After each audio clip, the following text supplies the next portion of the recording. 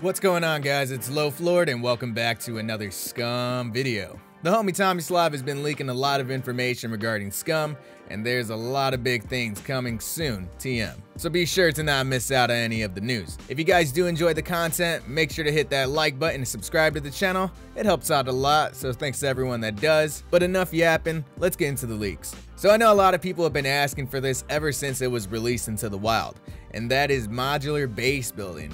The base building we have right now is great and it does what it needs to do, and some people can make great bases, but I also feel like it kind of lacks in creativity. However, that will be changing sometime in the near future as Tommy has teased some work in progress modular base building. And it's looking super dope. I mean, right from the first second, I was so happy because we finally get some roofs. We can finally have an actual garage instead of making 15 double doors, you know what I'm saying? We're also going to be getting windows and stairs so we can have more than one floor in our custom buildings. And I know we have two floors for the big cabins, but it would be much better for us players to make our own layout of our house. I'm excited to see if any private servers are going to be remaking buildings from other games or something. And from the looks of it, it seems like we're going to be getting a variety of different blueprints to mess around with to make our homes our own.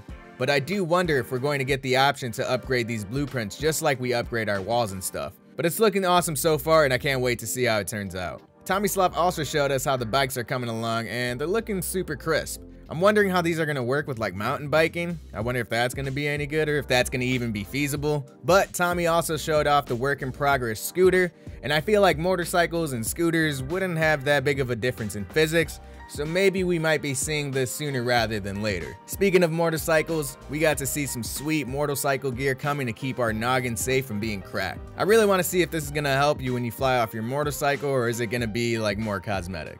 We also got to see a glimpse of the vehicle rework they are working on, and it seems like things are going to be getting a little bit more complicated on the road. And I'm all for that. It seems like we're going to be getting a lot more car parts for our vehicles, so instead of a battery, gas, and wheels to worry about, we might need to keep an eye out for our suspension, brakes, oil, and maybe even more but I'm interested to see how deep the devs are going with this, but the style is looking very awesome. Tommy also showed off the new metabolism menu and it's looking super sleek. It looks like they're removing a bunch of clutter from the screen to give us a better understanding on what's happening with our player. There will now be different colors that will signify whether your player needs more of something or has too much. So this is going to make the metabolism screen a lot less confusing for new and even returning players. We also got to see some evolving AI.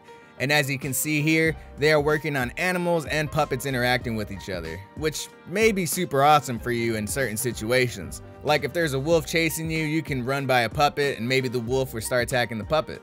Or they both just might start chasing you. We'll have to wait and see. And right now, it's so easy to run away from a puppet. You can just close a door on them and they won't get in Unless they clip through the walls, of course. But now it looks like puppets are going to be able to open doors. But what I think would make this feel much cooler and scarier is if you hear some hard knocking on the door and maybe a nice hard slam when the puppets open the door. Like something like this.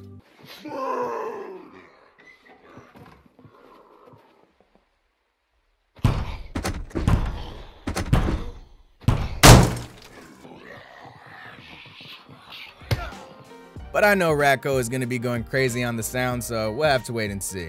But that's pretty much it for this video, guys. I hope you did learn something new, and I hope you guys are getting hyped for the future of Scum. But let me know what you guys are excited for in the comments below.